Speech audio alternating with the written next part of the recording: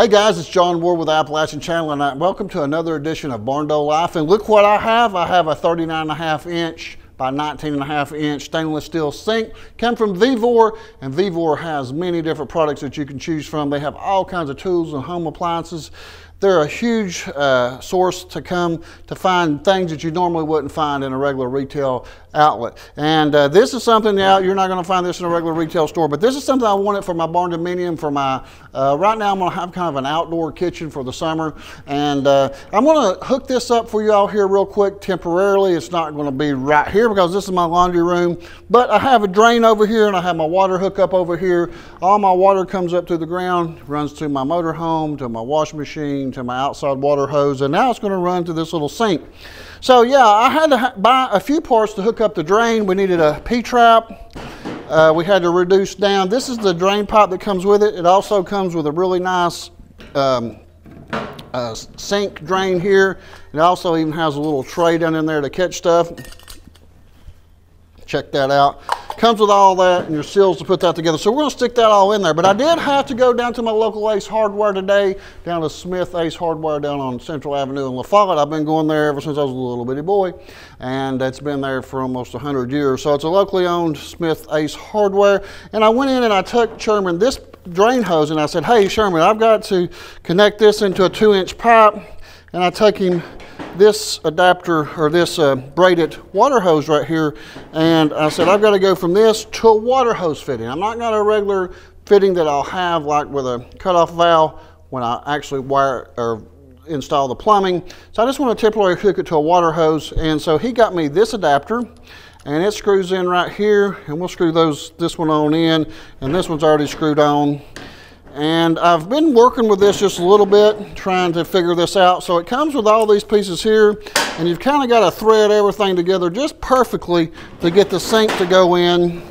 And uh, so what we're going to do is we're going to start with putting the, the faucet on, and I'm going to go ahead and run these pieces up through here.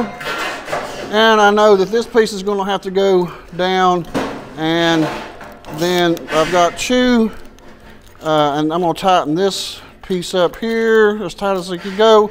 Now I think I can do this by hand tightening. Now this first one's going to be a little bit easier for me just to hand tighten in here. And it's got some really nice O-rings on the end of these seals right here, uh, at the end of these hoses.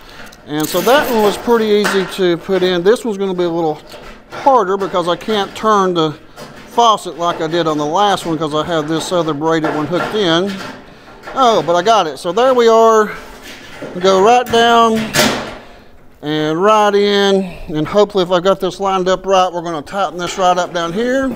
All right so I've got the sink uh, faucet through here. It's got this little o-ring that goes in there. And then I'm gonna this is gonna all just be hand tightened. And I'm not going to use any Teflon tape or anything on the fittings or glue on the drain pipes right now because I'm going to take all this back apart. Uh, when I move and get my wall built and plumb this in permanently. But I, that's going to be maybe a few months from now. And so right now I really need some water out here to wash off utensils and a few things to have a, a way to run some water to uh, and then have a drain for it. So this is going to be handy and maybe we can get a hot water heater for it and actually have hot water on it and that'd be really neat. So right there, see I'm hand tightening that.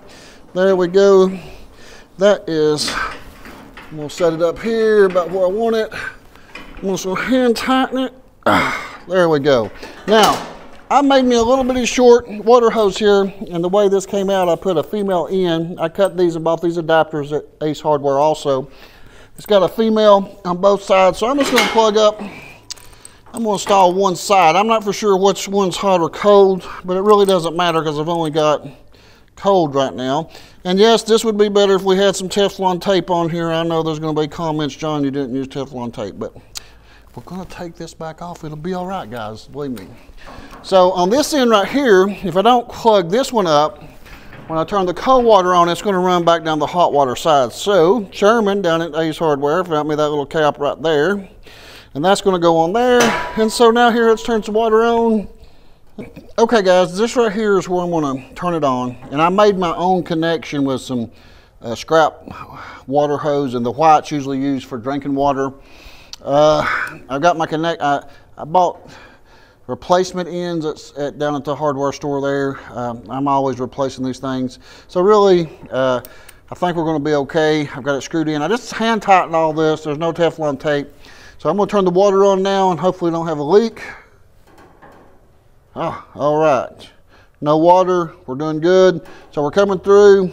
This is going to be my hot water when we hook it up. So let's go up here and check this. I don't have my drain in yet, but I'm just going to use this five gallon bucket right here and let's see what we got going on, see if it's working. Oh yeah, check that out guys. All right, so I'm gonna get that out of there. And now let's look right down in here into the drain itself.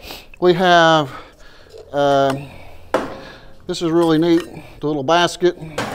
So we've got two different seals here and I'm trying to figure out which one goes where. That one looks a little small right there, so that must go underneath. And this is going to be the one that goes right here. See that? Usually sometimes you'd use plumber's putty for this, but uh, I think that seal is going to hold it good. And it's got an extra rubber seal that's going to go on the bottom. We're going to hand tighten that. And then, let's see, this will tighten up there. This came with the sink, this drain hose. So I'm going to reach under there and I'm going to tighten this up, then put this on here.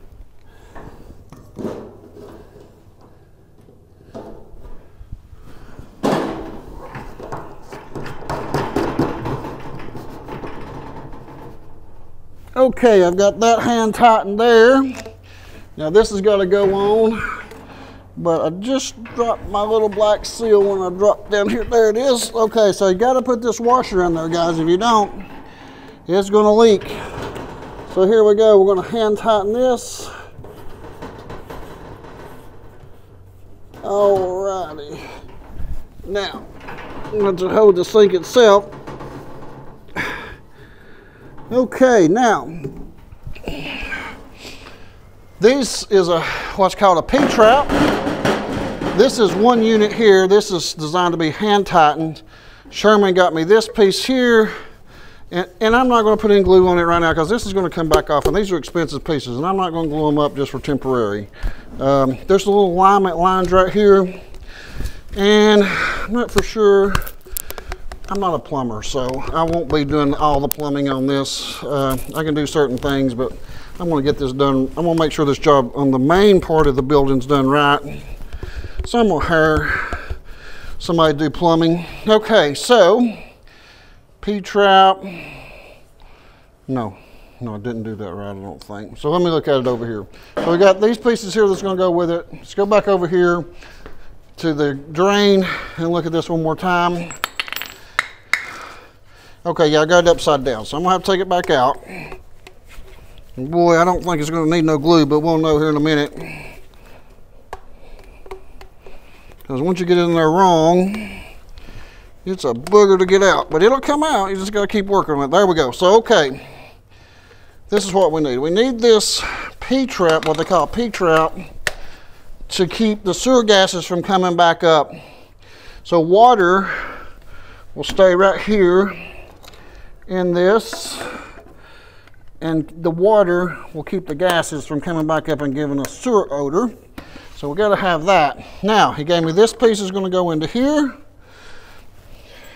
And eventually when we put this in permanently, I will use this permanently uh, somewhere and we will put glue on it, guys. So I know some people's freaking out saying you're not gluing it, but this is not where this sink goes. But this sink can be used in many places utility room, a garage, uh, a room where you prep food like I know a lot of people, me see if I can find my screwdriver. A lot of people do canning. This would be perfect if you did canning and you had a room on your porch, even outside on a porch somewhere, guys. And you can hook this up to your water hose outside, okay? You don't have to plumb it to your main thing. You can do just like I did right here. If you want to put this on your outside porch to cook with this year for grilling, just do what I did right here. Use a splitter on your water hose, split off, run to your cold water. If you need hot water, that's a little bit different thing, but I'm not going to need hot water right now. Then as far as your drain, this is really considered gray water just washing your hands or whatever. So that sometimes doesn't have to necessarily go right back into your drainage system. You can sometimes run gray water in certain states onto the ground. So this is just washing your hands or whatever. So okay, so we got a drain hooked up here, I think.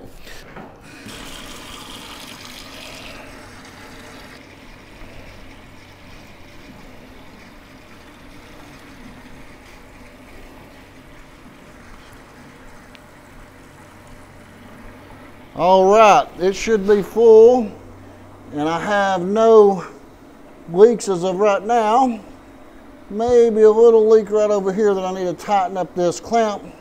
I think we're gonna be okay. Let me turn this off. I like this little drain basket. This is Vevor, right here's their name.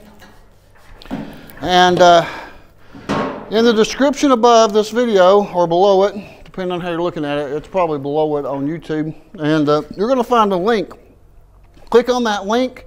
That's going to take you to this. And you're also going to find a promo code there in the description for 5% off. So I think this sells for about 239 and they have some variations of it, a little bit bigger, a little bit smaller, left-handed. Let's go over here to the computer just a second and uh, let's look at their website. Right here's their website. Here's some of the different uh, sinks. I believe this is the one I've got right here. But they got a variety of different sinks. And uh, gosh, they just got so many products. So these are all different types of sinks. Uh, here's a stainless steel sink here and here. But if you use that link, I believe no matter what you do, no matter what you order, we're going to still make an affiliate commission if you order something else besides that sink. Uh, racks, organizational stuff. Oh gosh, this here's uh, faucets themselves.